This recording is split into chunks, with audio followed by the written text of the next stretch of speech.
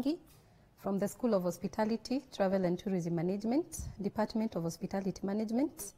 Uh, our unit is uh, DHT 2114, Food Hygiene and Hazards Control. Welcome. We are going to look at the basics of food hygiene and uh, to our objectives, the lesson objectives. Uh, by the end of the lesson, you should be able to identify essentials of maintaining food hygiene. You should also be able to identify common terms applied in food hygiene, and you should be able to describe the rules of personal hygiene. Uh, we have some definitions of terms, some terms that you need to understand as we continue with the study of food hygiene. The first one is food hygiene. Of course, one would ask, what is this food hygiene? And it simply implies to all conditions and uh, measures that are necessary to ensure the safety and suitability of food at all stages of the food chain. The food chain means food comes from, it has like a chain from the farm all the way to, you know, until the end product uh, is consumed by the customer or the consumer. So what are all the necessary measures? The second um, term to define is a hazard. What is a hazard? And it is simply a biological, it can be biological, chemical, or physical agent, or in condition of food that has a potential to cause harm or adverse health effect. That's what we call a hazard. Then control. When we talk about food hygiene and hazards control, what do we really mean by control? This is actually a verb. It means taking all necessary actions to ensure and maintain compliance. Then contamination. What is contamination? Like food contamination. It is simply the introduction or occurrence of a contaminant in food or food environment. Next term is a food handler. Who is a food handler? Now, this is basically a person who is directly in, uh, who directly handles food, whether it, it is packaged or unpackaged, either food equipment and utensils or food contact surfaces, and is therefore expected to comply with food hygiene requirements. That's the person we refer to as a food handler. Food poisoning. What is food poisoning? This is illness that is caused by food contaminated with bacteria, with viruses, with parasites, or toxins. That is what we call food poisoning. The next term is cross contamination. And cross contamination is the process by which bacteria or microorganisms are unintentionally transferred from one substance or object to the other, causing harmful effects. That is cross contamination. Then hygiene. When we talk about hygiene, without talking of either food hygiene or personal hygiene, what does hygiene really mean? Now, this is actually a series of practices that are performed in order to preserve health. And according to the World Health Organization, hygiene refers to conditions and practices that help to maintain health and prevent the spread of diseases. That is general hygiene. But we have personal hygiene. What does personal hygiene mean? Now, this refers to maintaining the body's cleanliness, a person's body cleanliness. Then to the introduction of the basics. Remember, we are looking at the basics of food hygiene.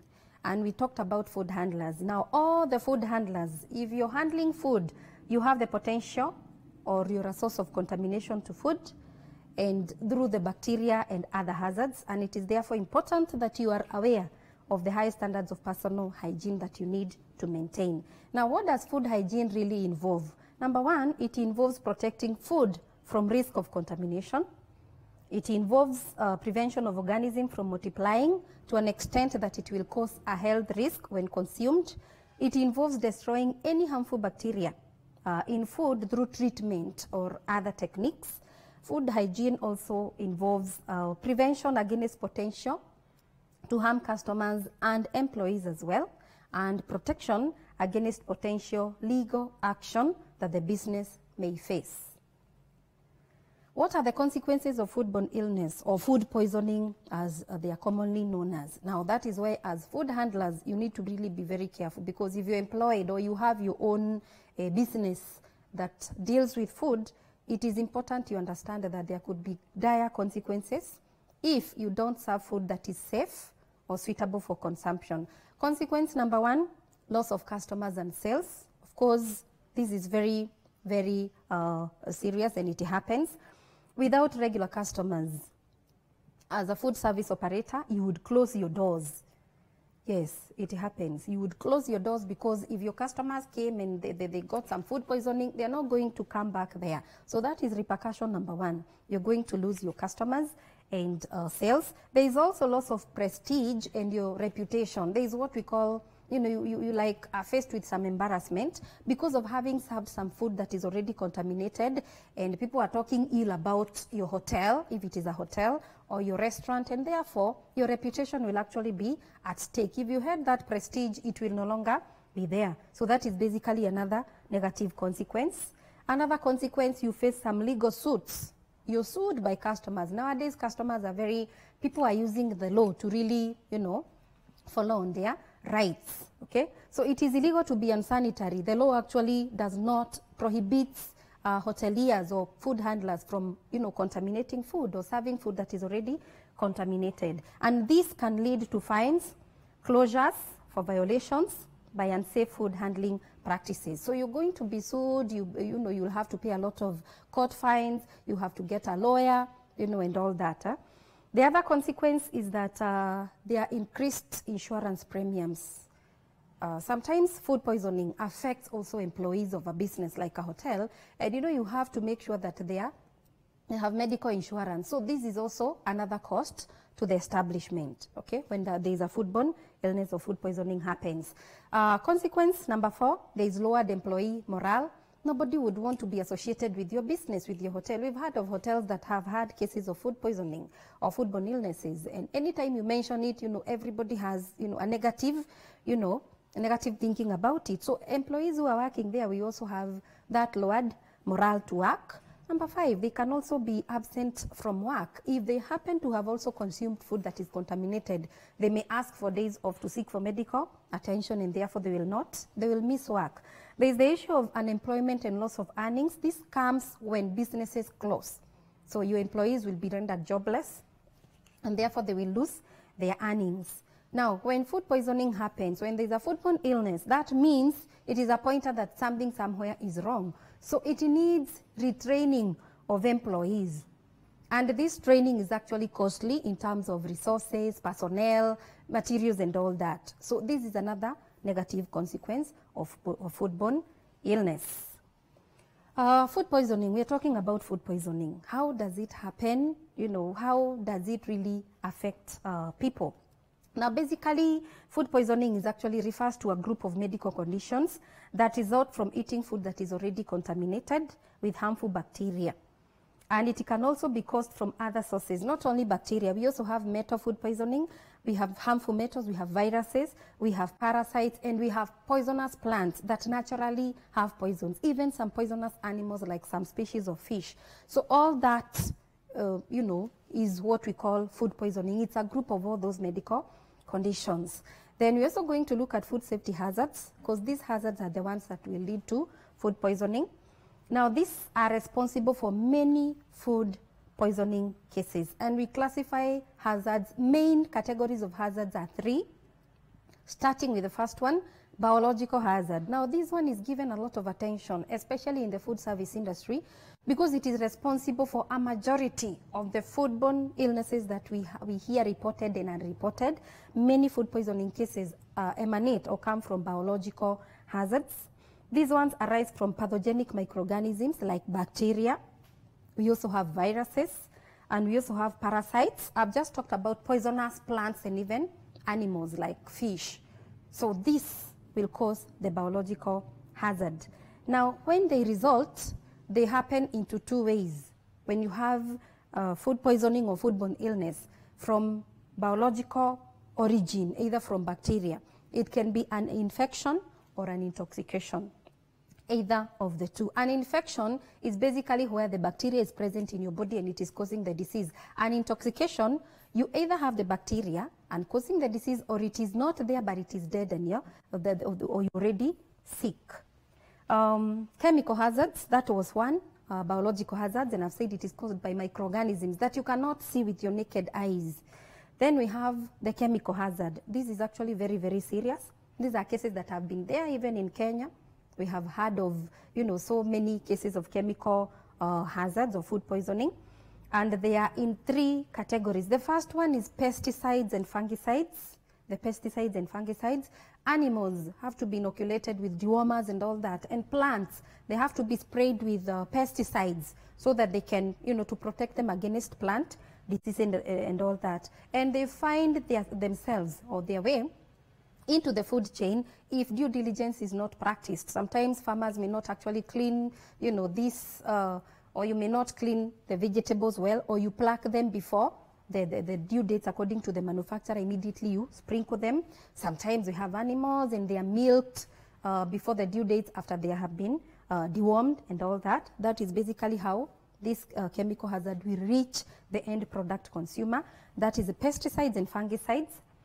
We also have additives and preservatives. These ones, sometimes they are intentionally added into food, not with an intention of causing any ill effect, because some of them, like the preservatives, they are there to prolong the shelf life of food.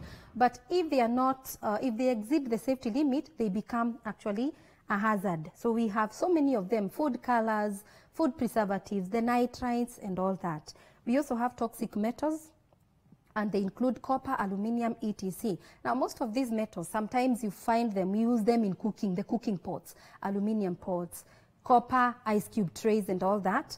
And sometimes they come into contact with food and they actually cause uh, a hazard. This is a good example. That picture shows uh, the pesticides being used. Uh, plants are actually being sprinkled, you can see. And this is basically how the hazard will reach itself into uh, the customer along the food chain. So that, those are pesticides as chemical hazards.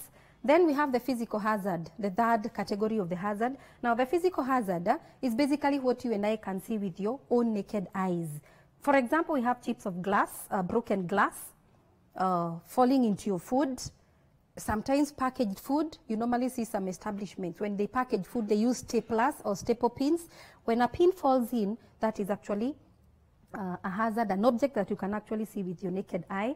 Like for example, in our picture here, in our illustration, you can see the first picture here, we have a screw. That is basically a physical hazard, very risky. The second one, you can see it's a ring. You know, there are many physical hazards that can actually emanate. You have a hook here. All these are physical contaminants or physical hazards. It is something that you can actually see with your naked eye. Uh, then from the hazards, we go to now personal hygiene. What are you supposed to do as a food handler? Number one, protective clothing is very, very important. You must don protective clothing so that you can in, uh, actually protect the food. Apart from protect, protecting yourself, you protect the food that will actually be served to your customer. Now, this is one to protect food from contamination by the food handlers and to protect the wearer from excessive heat, burns, or sharp objects.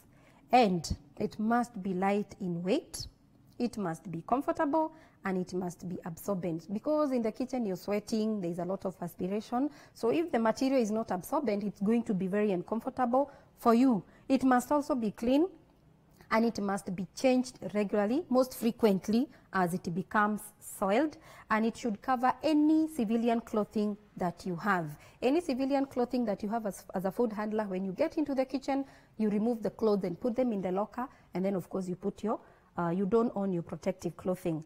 Now, it is a requirement the law requires that this is worn. This is according to the Personal Protective Equipment, that is PPE at Work Regulations of 1992. Employees must wear personal protective equipment that are suitable for the work they are involved in. And therefore, chefs or food handlers are not an exemption. So when you don't own your protective clothing, you're following the law. It is legal to do that. Now let's look at what does protective clothing uh, include. Number one, we have the chef's jacket the chef's jacket. Now this is usually made of cotton. It should be double breasted as we see uh, in the diagram. It should also be long sleeved and then it should be able to protect the chest and the arms from hot foods, from liquids, scalding your body. Then of course after the jacket we have the whole apparel. You have the trousers. They should also be light in weight. They're supposed to be made of cotton material. Cotton is very protective. It doesn't burn fast. It's not like nylon and other, you know, man-made uh, fabrics. This is basically for safety and comfort. Again, cotton is very absorbent. Uh, we have aprons. You must have an apron. These provide extra protection to the body, and of course, they also protect uh, the clothing from being so much uh, soiled. And it must be of sufficient length so that it can be able to be wrapped around your body. And in case of an emergency like a burn, you can be able to actually unwrap it and remove it. We go to the chef's hat. It is another uh, element of protecting clothing.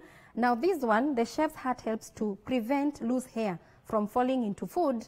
And also, apart from preventing loose hair from falling onto food, the chef's hat will absorb any perspiration on your forehead. Then we have the neck scarf. It's a scarf you put on your neck. It helps to absorb any perspiration when you sweat so that it doesn't fall on food. Uh, then we have footwear. You know, you must have, of course, some special type of footwear, not just, you know, any shoes that are supposed to be allowed in the kitchen. Now, this should be strong and in good repair so as to protect and support your feet. Now, as a kitchen staff, as a food handler, you take most of your time most of the hours you spend standing in the kitchen, and therefore you need footwear that is suitable, that is clean, that is comfortable for you to be able to work in the, uh, in the kitchen. Now, it is not advisable, it is not allowed eh, that food handlers or chefs in the kitchen, you wear open top shoes or sandals. These ones will not offer any protection in case of any spillage or in case of a sharp object like a knife falling, it will hurt you, it will injure you. So you need to have proper footwear. In fact, the recommended one is what we call, uh, of course, leather. It breathes. It is it is very very okay. Not plastic leather. It should be have it should have a steel toe cap, if affordable, so that in case a knife falls, it will hit on that steel toe cap and it will not actually injure you. That is on um, the footwear. Then characteristics and qualities of this kitchen clothing. How are they supposed to be? Number one, they should be washable. I talked about cotton.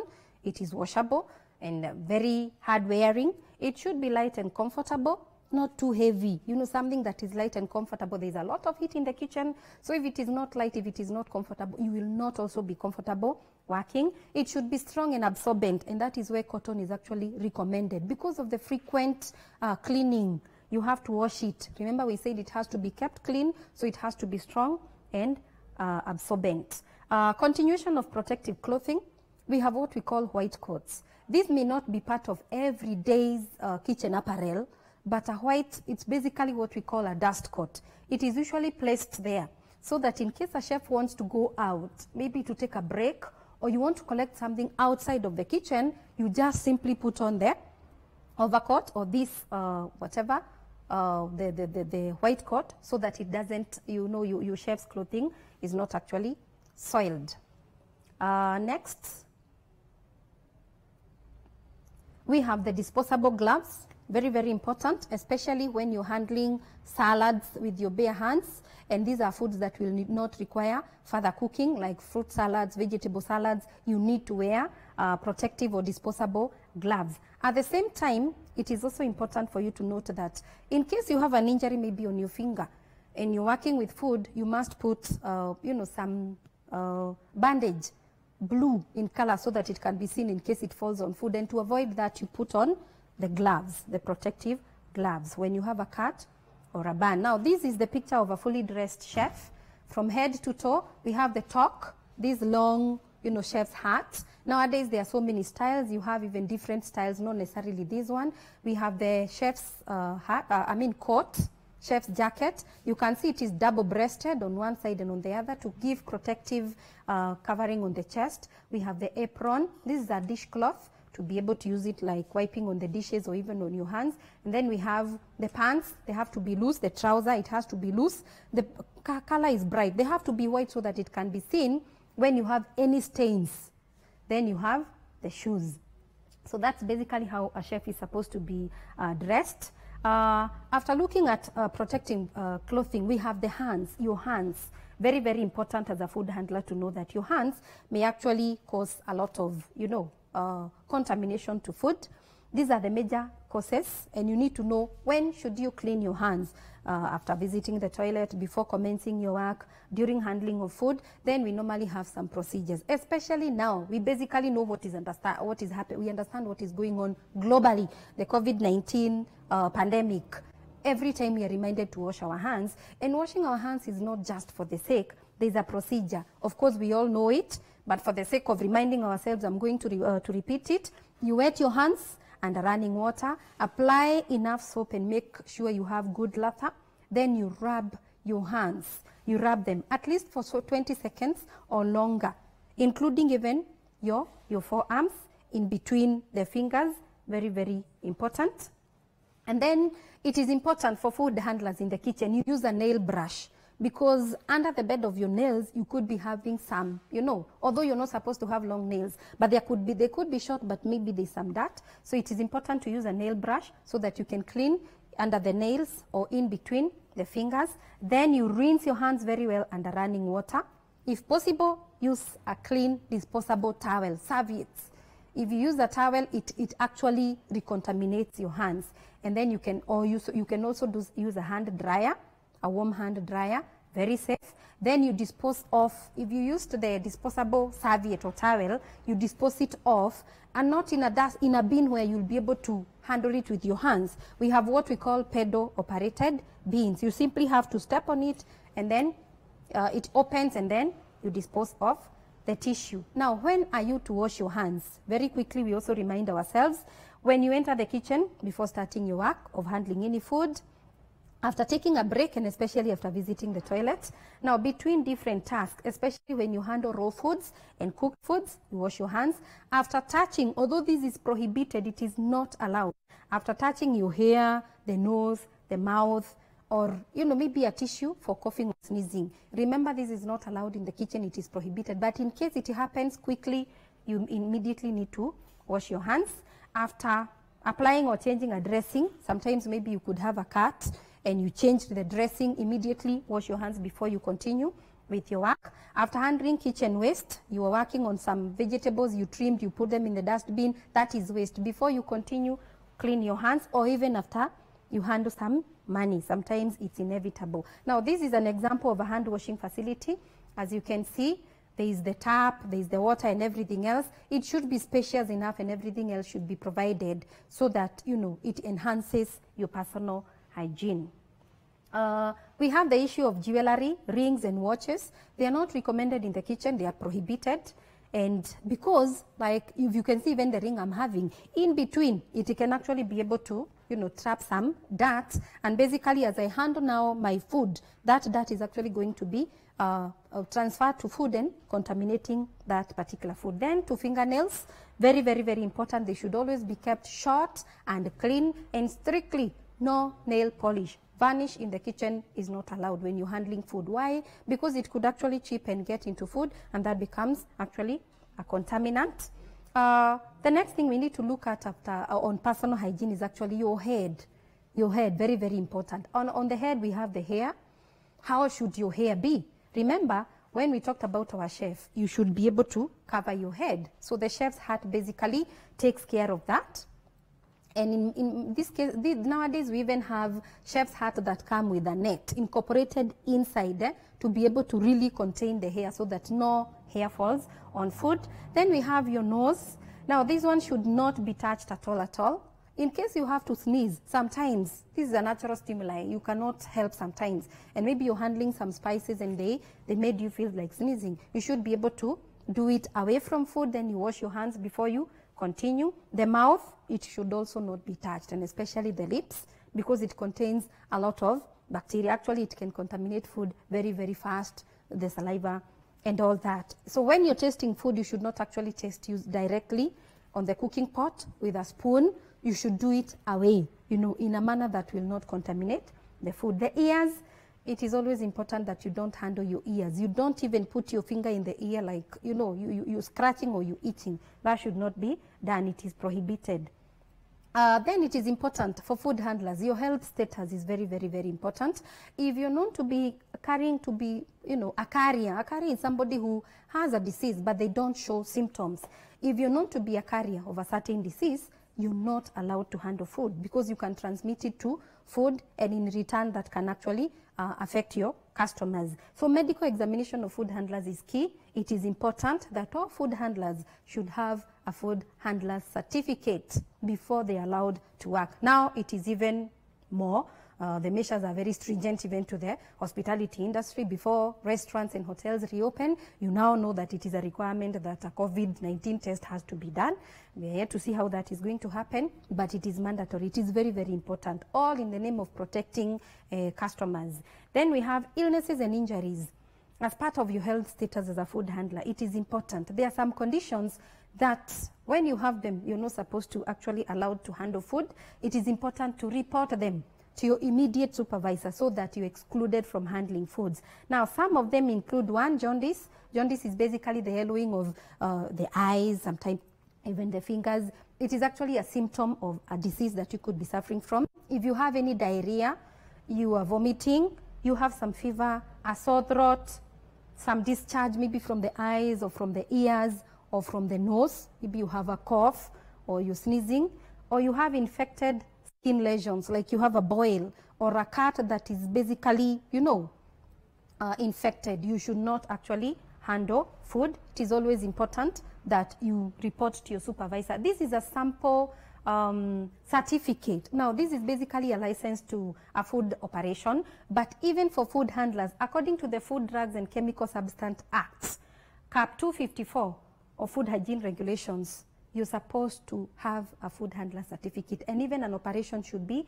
licensed. This is simply a sample and basically that is how it looks like. Very, very important as part of taking care of, uh, you know, uh, food. Then we have personal behavior. How do you behave as a food handler when you're dealing with food in the kitchen or in the service area when you're serving your customers? So it is important that you desist from some mannerisms, some bad habits, like for example, smoking, this is prohibited. It is a no-no. Spitting, chewing or eating. If you have to test your food before you serve it, it is always good to do it professionally. Normally, you need to have a teaspoon and a saucer. You scoop the food, then you walk away from where the food is, you test, and the same, same spoon that tested should not actually be taken back to the food, or rather to the cooking pot. So you should do that very well. Do not pilfer in the name of testing for the for the seasoning. So chewing and eating in the kitchen, they are prohibited. You have to eat where it is recommended. Okay? Then we have sneezing or coughing over unprotected food. I said sometimes it is inevitable, but these mannerisms are supposed to be. You need to work as a professional, so you avoid sneezing or coughing over food. Uh, touching of your face, the nose, or the mouth. Some people have those mannerisms of fingering. If somebody has a pimple every time, they have to keep, you know, fingering it.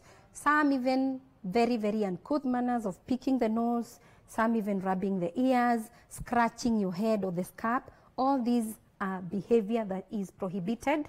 We have some good pictures or illustrations of them. We can see somebody smoking. It is prohibited. Now, this is someone trying to test food with a soup ladle. It could be a soup and then they scooped it with a soup ladle and they're trying to test it. This is prohibited. You should test it in the manner that I demonstrated clearly uh, someone is drinking, and this looks like an alcoholic beverage in the kitchen. This is gum. Somebody is trying to chew gum in the kitchen. It's a no, no. Can see this is, uh, you know, very disgusting. Someone is actually spitting, and they're handling food. Uh, someone is sneezing or, you know, they, they, they are blowing their nose. It is also not allowed in the cook, uh, food uh, preparation or cooking area or service area. Then I talked about nail polish or nail varnish. It is not allowed in the kitchen because it is a major contaminant. I'm now going to summarize personal hygiene rules just as a reminder. Number one, do not work with food if you have any communicable disease or infection. I talked about it, reporting to your supervisor. Number two, bathe or shower daily. We may ask, why should people be reminded? It is not obvious. It is not obvious. So it is good to remind food handlers that they should bathe and shower on a daily basis. Then for the uniforms and the aprons, they have to be clean. It is mandatory. For the hair, it has to be neat always, and they should always wear a hairnet. Okay. Then uh, if you have a mustache for gents, for the gents, mustache, it should be trimmed. You should not have it. The beards, you're better even clean shaven. You'll be good as a chef. Then for the jewelry, remember we said they're not allowed. They're supposed to be removed, even a wedding band, even a watch, because they cause some contamination to food. Wash your hands and exposed parts of your arms during this particular time after eating, after drinking. If smoking is allowed, if you have a smoking zone and you've smoked, then you should wash your hands. After using the toilet, that is obvious. After touching or handling anything that may be contaminated with the bacteria. Then you need to cover sneezes and coughs, then you wash your hands. Remember I said sometimes a sneeze and a cough is inevitable. So when you do it, wash your hands before you continue with your food. Keep your hands away from your face, eyes, hair, and arm. Those are the prohibited actions. Try as much as, you, uh, as possible. The fingernails should be clean and short, no nail polish. Do not smoke or chew gum while on duty. If you have a cut or a burn, you need to cover it with clean bandage.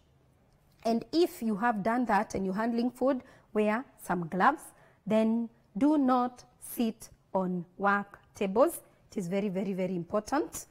And that brings us to the end of uh, our lesson. Thank you so much. Until next time, bye for now. These televised lectures supplement our robust online learning going on on our MKU online platform. You can view more on our televised lectures via our online platform. We are in a digital era, and Mount Kenya University knows this. The following are the steps to follow so as to complete your online application. Download the application form from the website www.mku.ac.ke. Attach copies of your academic certificates and ID. Pay the application fees via M-Pesa pay bill number 270988.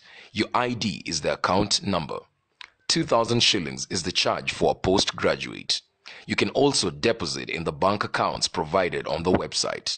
Then email all the above to apply at mku.ac.ke.